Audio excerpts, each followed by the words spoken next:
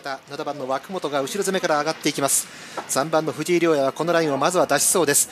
1コーナーカーブを抑えました。7番の枠本和樹を抑えています。ライン3者が行きまして1番の坂田学は中段の位置4番手。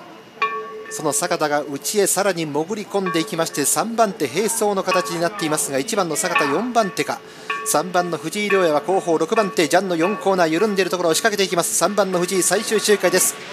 赤番過ぎに抑えました。7番の枠本和樹が先行です。6番手から巻き返す。3番の藤井亮也。両者が踏み合ってまもなく2コーナーからバックへと向かっていきます。3番の藤井の後ろ6番の太田黒ちょっと遅れた。2コーナーからバックへと入りましたが先頭を振り切ったか。7番の枠本和樹。3番の藤井亮也はちょっとバックでいっぱいです。マーク2番の有馬裕二そして4番の伊藤文明が3番手。ライン3者の決着でしょうか。直線コースへ向いてくる。先頭7番の枠本和樹。マークから2番の有馬裕二2番の有馬が差し切ってのゴールです。